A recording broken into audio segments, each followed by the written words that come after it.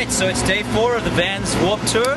We're here in the beautiful city of Miami where everything is bigger than I've ever seen before. Massive apartment blocks, crazy people walking around wearing nothing. I'm going to take you on a quick tour of our tour bus. We were pretty scared that we were going to be stuck in a tiny little van with no aircon, which would be a bad thing because it is hot, hot, hot here. But let's go check out the way we roll.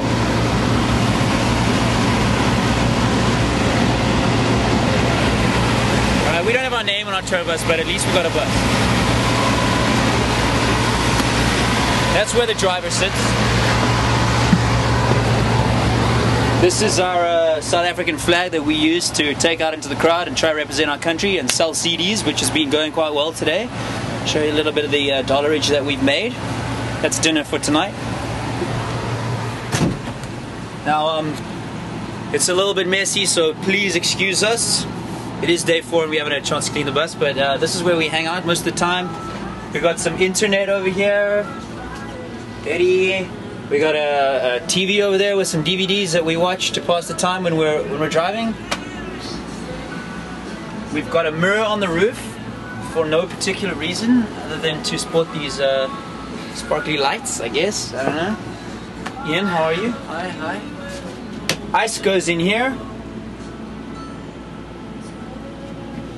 Food, drinks. I here's a toilet. Note number two is on the bus, please.